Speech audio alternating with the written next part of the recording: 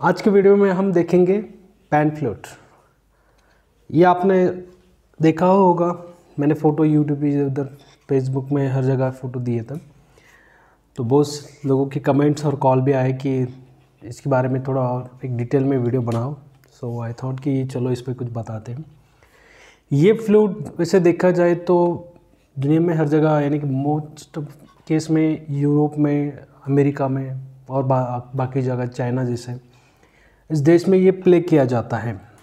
इसका जो अगर हिस्ट्री देखा जाए तो ये बीसी से पहले कुछ इसका ओरिजिन है। और ये फ्लूट बहुत ही सिंपल है। जैसे कि आप देख पा रहे हैं कि ये फ्लूट इस प्रकार से बाम्बू से एक, हर एक सुर के लिए हर एक बाम्बू यूज़ किया है। इसे पैन फ्लूट भी कहते हैं, दूसरा पैन पाइप भी कहते हैं। क्योंकि सिंपली जस्ट पाइप है इसका जो मैकेनिज्म है close at one and for the flutes and sound produce wind instrument में तो सिंपली या one side is open and other side is close इसमें अलग अलग स्केल मिल जाते हैं। इसमें जो मेजर स्केल पे ट्यून की जाती है अकॉर्डिंग टू रिक्वायरमेंट के हिसाब से भी इसे ट्यून किया जाता है। आप चाहे तो इसे पेंटाउनिक स्केल में भी अगर आपको चाहिए तो पेंटाउनिक स्केल में भी ये ट्यून होती है। जैसे कि अभी ये स्केल में जो अब दिखाने वाला हो, ये सी मेजर है। सी मेजर और ये इस पैन फ्लूट में मैंने तीन सप्तक में ये बनवाई है। दो सप्तक में भी बनती है, ढाई सप्तक में बनती है और तीन सप्तक 3.5 भी बन सकती है। लेकिन उसके आगे जाएँगे फोर यानी चार सप्तक तक। तो बेस में जो प्लेइंग का है, थोड़ा आपको रियाज, यानी कि ब्लोइंग का जो टेक्निक होता है उसको चाहिए। मोस्ट ऑफ़ ये 22 पाइप में, यानी कि ये तीन सप्तक तक आराम से प्ले होती है और बहुत ही स्वीट साउंड है इसका। प्लेइंग में बहुत आसान है। कोई भी इसे प्ले कर सकता है। इसका एक ग्रिप करने का इस प्रकार का एक तरीका होता है। ये ये इस प्रकार से एक सेप होना चाहिए। थम इस यहाँ पे रहेगा और इस प्रकार से। सेकेंड हैंड यहाँ पे रखेंगे। आप कई जगह इस प्रकार से भी रख सकते हैं, इस प्रकार से रख सकते हैं। और इसमें जो वाइब्रेटो है तो वाइब्रेटो को हम इस प्रकार से सेकेंड करेंगे, ये हाथ को आप जित, इस प्रकार से इसमें वाइब्रेट करेंगे so will get the same vibrato इस प्रकार से। जैसे हम फ्लूट में प्लेइंग करते हैं, उसमें जो टंकिंग के जो अलग टेक्निक्स है, उसमें भी, इसमें भी हम यूज़ कर सकते हैं।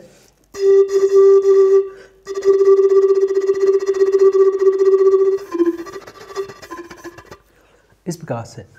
मतलब ये जैसे हम ब्लो करते हैं फ्लूट में सेम तरीका इसमें। थोड़ा सा इसे हम थोड़ा फाइन जितना हम ब्लो करेंगे, उतना इसका स्वीट साउंड आ जाएगा। सेकेंड थिंग्स इसमें जो कोमल्स और अगर हमें लेना है, जैसे हम हाफ़ क्लोज करते हैं तो इसी प्रकार से इस फ्लूट को अगर थोड़ा सा हल्का सा हम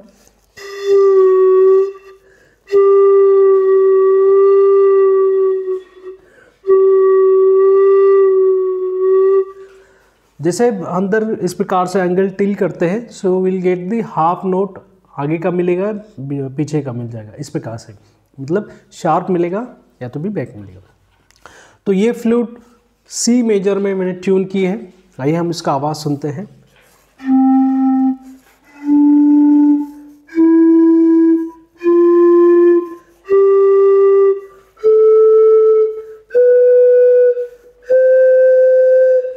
ये था एक कंप्लीट एक सप्तक, यानी कि वन ऑक्टिव लोअर ऑक्टिव जिसे हम कहेंगे।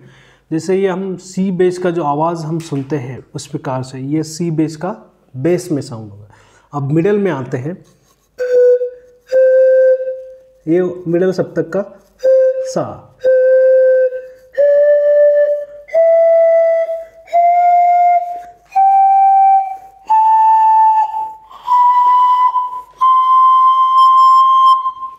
ये अभी हायर ऑक्टिव का साम ठीक है, और ये दो ऑक्टिव कंप्लीट हो गए। अब ये तीसरा ऑक्टिव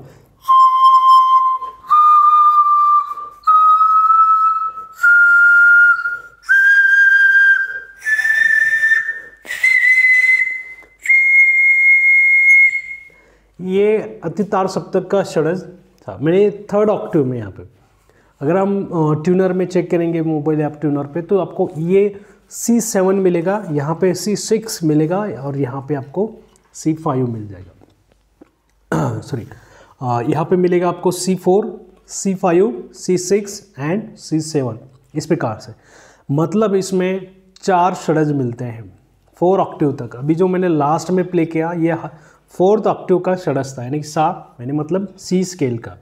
इसमें जैसे हम फ्लूट में स्केल चेंज करके जो प्ले करते हैं सेम इसी प्रकार से इसमें टेक्निक है।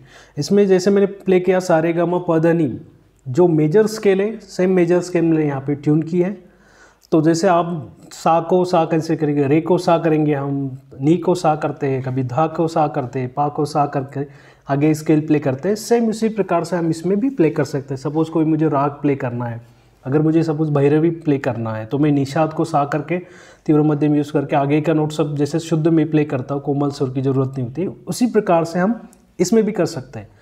तो ये फ्लूट इतना आसान है प्लेइंग में जस्ट ब्लो इट कोई हम जैसे पेन का कैप लेते हैं, जैसे, और जस्ट ब्लो करते हैं will get the sound same technique we will apply for that okay बस अब इसमें प्रैक्टिस की जैसी ज़रूरत है, क्योंकि हमें जैसे शिफ्ट करना है।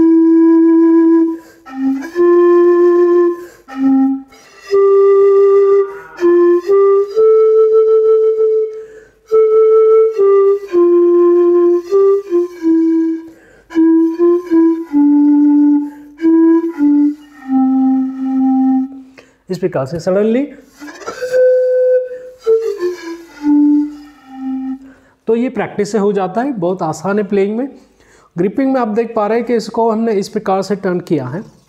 ये टोटल 22 पाइप से इसमें 22 पाइप टोटल लगे हैं। तीन ऑक्टिव होने की वजह से। ये यहाँ पे लोअर यानी कि हायर ऑक्टिव आपको मिल जाता है, इसका हाइट कम होता है। इस प्रकार से यहाँ पे ब्लोइंग का टेक्निक थोड़ा हमें प्रेशराइज ज़्यादा करता है। पिंग पॉइंट जैसे हम कहते हैं वो ज़्यादा जैसे इधर आएँगे तो यानी कि हमारा जो होल इसका पॉइस्चर होता है ओट का, वो थोड़ा चेंज हो जाता है। मतलब वो ग्रिपिंग जैसे हम फ्लूड में प्ले करते हैं, उसी प्रकार से। ये इसलिए टर्न है क्योंकि हमें तो सडनली इस प्रकार से इसे आप यहाँ से यहाँ तक लेके आ सकते हैं इमीडिएटली ग्रिपिंग में भी आसान हो जाता है। इसका वेट करीबन एक 500 600 ग्राम तक हो जाता है। और इसकी मेन चीज़ है प्राइस बहुत लोग प्राइस कंटिन्यूसली कमेंट्स में पूछते रहते तो मैं किसी वीडियो में नहीं देता हूँ, लेकिन आज चल, सोचा कि चलो आज इसमें बता ही देता हूँ। तो मेन चीज़ ये है कि प्राइस इस पर आपको कौन सा लेना है इस पर डिपेंड करता है। मतलब इसमें अलग अलग मॉडल होते हैं। जैसे कि दो सप्तक वाला एक है 1.5 सप्तक में भी आ जाता है। उसके बाद तीन सप्तक में जैसे ये मैंने दिखा है 2.5 सप्तक में आ जाता है। तो ये पाइप के हिसाब से अलग अलग डिज़ाइन में मिल जाता है। कई जगह आपको ये अभी जैसे यूज़ इस प्रकार से आपको ये टर्न मिल रहा है। नेक्स्ट टाइम हम नेक्स्ट मॉडल इस प्रकार से बना रहे हैं कि ये सब स्टेट रहेगा, ये जो हायर ऑक्टिव है, ये इसके नीचे आ जाएगा। मतलब आपको बस इस प्रकार से प्ले करना है। ठीक है? तो ये प्राइस उस पर डिपेंड रहती है। तो मिनिमम ये दो हज़ार से स्टार्ट हो जाएगा, क्योंकि इसे कम से कम चार से पाँच बाम्बू लग जाते हैं अलग अलग प्रकार के।